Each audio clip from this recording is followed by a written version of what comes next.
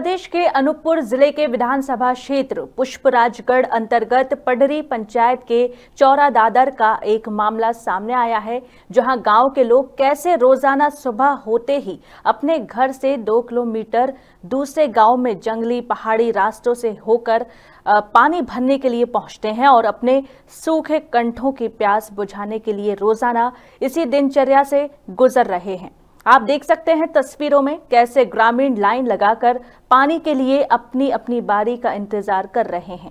यहाँ के लोग सदियों से पीने के पानी की समस्या से जूझ रहे हैं। वहीं चौरा दादर गाँव में ही करीब 45 घर के लोग निवासरत हैं। वहीं पीएचई विभाग ने बकान गाँव में बोर भी करवाया था और कहा जा रहा था कि पहाड़ चढ़कर पानी पहुंचाएँगे। पर छह महीने से छह महीने गुजर चुके और बोर ऐसा का ऐसा ही पड़ा हुआ है। कहने को तो इस गाँव में पीएचई विभाग ने पूर्व में दो से तीन हैंडपंप खनन करवाए, पर किसी काम के नहीं रहे। अब ऐसे में सवाल पीएचई विभाग के उन जिम्मेदार अधिकारियों पर उठ रहा है कि क्या इस गाँव में बोर कराने से पहले विभाग ने सर्वे नहीं कराया, या महज कागज़ी सर्वे तक ही सीमित रहा, और ग्रामीणों की प्यास बुझ भी नहीं पाई। वहीं गाँव के सरपंच ने बताया कि पानी की समस्या के लिए कलेक्टर के पास जन सुनवाई तक में आवेदन दिया। तो वहीं जनपद पंचायत पुष्पराजगढ़ के अध्यक्ष मिथिलेश सिंह मरावी ने कहा कि मामला मेरे संज्ञान में है। जल्द ही कलेक्टर से बात कर पानी की व्यवस्था उपलब्ध करवाई जाएगी। वहीं पीएचई विभाग के PHE executive engineer H S Dhruve ने, ध्रुवे का कहना है कि गाँव में पानी की कमी है, लेकिन हम गाँव बकान से जो पेयजल है, वहाँ से पानी उपलब्ध करवाएँगे। बचपन से झेलते आ रहे हैं, गाँव में पानी का सुविधा कुछ नहीं है। सेक्रेटरी सरपंच, विधायक बोलते हैं, तब पर भी सुनते नहीं है भैया गाँव में नल सिस्टम बोर सिस्टम होना चाहिए। हमारे पानी की समस्या है, दादा। सबसे ज़्यादा चार बजे रात उतर मकान में पानी घड़ा लेके कब गिरता कब उठता है हमार ढर शासन नहीं देखा है, न राजा बाबा देखा है चौरा दादा ला।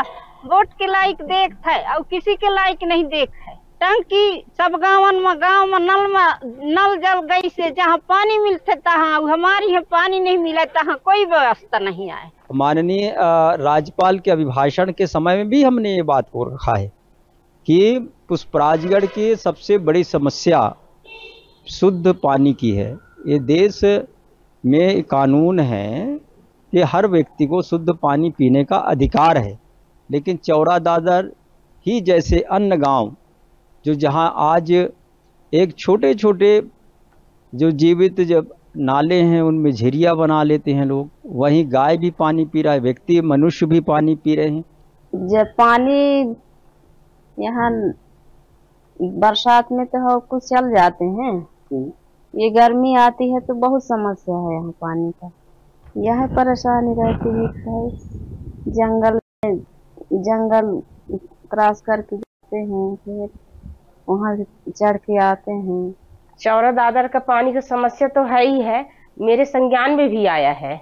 बहुत दूर से भाई बंधुओं लोग काफ़ी परेशान हो के पानी दूर से ले जाते हैं।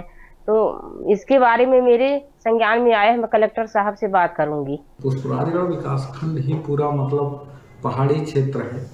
और पहाड़ी क्षेत्र होने के कारण पानी मिलता है, कम मिलता है। वहाँ की जल आवक क्षमता क्षेत्र की कम है। चौरा दादर ग्राम की बात कर रहे हैं। चौरा दादर में हमारे तीन नलकूप हैं। उनमें पानी कम आता है और उसके लिए हम उसके बगल में नीचे पहाड़ के नीचे जो गाँव है बकान वहाँ से पेयजल लिफ्ट करने की योजना बनाए हैं और उस, उसमें हम सफल हो जाएँगे क्योंकि बकान में अभी पानी मिल गया है। बहरहाल, इस गाँव में ग्रामीणों की परेशानी साफ़ दिखाई पड़ रही है। इस मामले पर सब आश्वासन दे रहे हैं। देखने वाली बात ये होगी कि इस गाँव के लिए शासन, प्रशासन कौन सा स्थायी कदम उठाता है और कब तक, जिससे कि ग्रामीणों की समस्या का समाधान हो सके। बहरहाल, वर्तमान की स्थिति बदहाल ही नज़र आ रही है। अनूपपुर से संवाददाता ओंकार सिंह की रिपोर्ट। और इसी खबर पर हमारे साथ संवाददाता ओंकार सिंह जुड़े हुए हैं। ओंकार, जैसा कि हमने देखा कि ग्रामीण लगातार शिकायत कर रहे हैं कि उन्हें पानी की समस्या से कैसे जूझना पड़ रहा है, ये आप समझ सकते हैं कि एक इंसान के लिए पानी कितना ज़रूरी है। लेकिन अगर बात की जाए जिम्मेदारों की, जिम्मेदार अपनी जगह आश्वासन ज़रूर दे देते हैं। लेकिन क्या कहा जा सकता है, कब तक समस्या का निवारण हो पाएगा?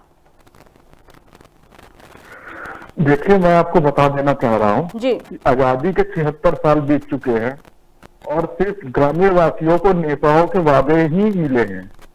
उन्हें कोई पूर्ण रूप से विकास नहीं प्राप्त हुआ है। चाहे अमृत महोत्सव कर लीजिए और विकास रथ यात्रा कर कह दीजिए। यहाँ तक जब हम लोग वहाँ पर गए हैं तो देखा है कि तीन से चार किलोमीटर तक लोग पत्थरों से लड़ते हुए पगडंडियों के सहारे ऊबड़ खाबड़ रस्तों के सहारे पानी भरने जाते हैं। उस, जान, उस रस्तों से जंगल भरे हैं। भालू चीते शेर सभी गुजरते हैं। जी। यहाँ तक कि जनप्रतिनिधि भी बदल रहे हैं। पिछले बार जनप्रतिनिधि थे उन्होंने भी वादा किया था इन लोगों को।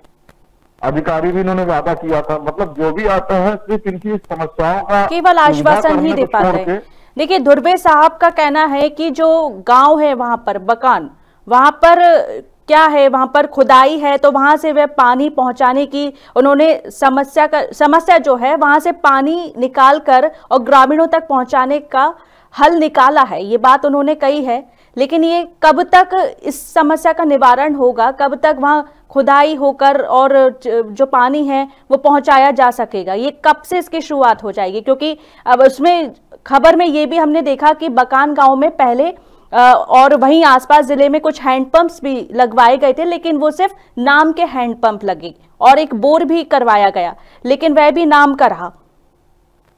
देखिए वहाँ पर जो भी जितने भी नलकूप होते पुष्पराजगढ़ इंटीरियर क्षेत्र होने के नाते जी। कोई सर्वे नहीं कराया जाता है। पानी का लेवल कितना है? और पुष्पराजगढ़ जो है जहाँ बकान बताया जा रहा है कुछ स्तर और नीचे है बकान में भी बाकी जो दागर की बात कर रहे हैं जहाँ पानी अवेलेबल नहीं हो रहा है उपलब्ध नहीं हो रहा है जी। वो काफ़ी ऊँचे क्षेत्र में है जहाँ से जल स्तर नीचे की ओर चला जाता है। तो ये सिर्फ़ खाना पूर्ति की इनकी बातें होती है कि हम जल्द सेवा करवा देंगे लिफ्ट से पहुँचा देंगे। अभी पहले भी इन्होंने कहा था कि पहले अधिकारी के हम वहाँ लिफ्ट सेवा को जल्द पहुंचाएँगे लेकिन आज तक वो सेवा मुहैया नहीं हो पाया। जी। ये बात अधिकारियों के संज्ञान में है उसके बाद भी। यह सबके संज्ञान में है विधायक की भी संज्ञान में है सांसद की भी संज्ञान में है। यहाँ तक कि माननीय मुख्यमंत्री जी के भी संज्ञान में है बात। जी। देखिए ओंकार सिंह अब ये देखने वाली बात होगी कि आखिर कब तक ग्रामीणों की समस्या का समाधान हो सकता है।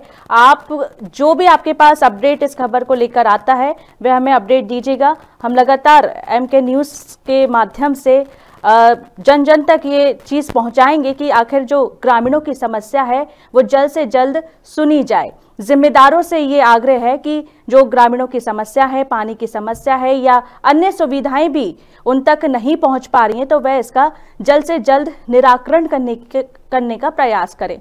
बहुत बहुत शुक्रिया ओंकार सिंह आपकी तमाम जानकारी देने के लिए।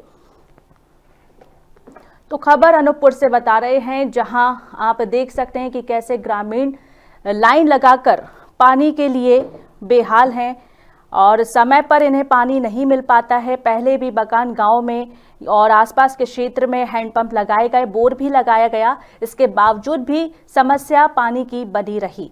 देखने वाली बात होगी कि आखिर कब तक जिम्मेदार इस पूरे मामले को संज्ञान में तो ले चुके हैं, लेकिन कब तक इस समस्या का हल निकाल सकेंगे।